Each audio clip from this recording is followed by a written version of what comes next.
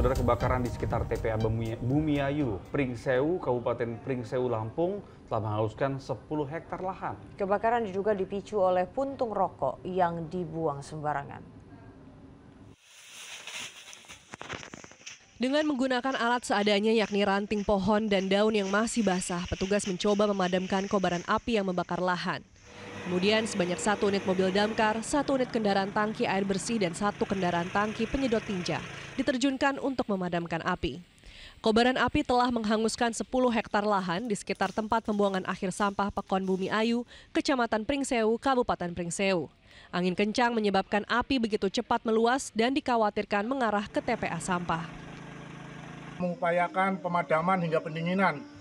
Pasca diterimanya informasi kebakaran di seputaran lahan TPA di Pekon Bumiayu yang adalah merupakan tempat pembuangan air sampah milik Pemda Pringsewu, kami semaksimal mungkin melakukan dan berupaya melakukan pemadaman karena dikhawatirkan merembet sampai ke TPA.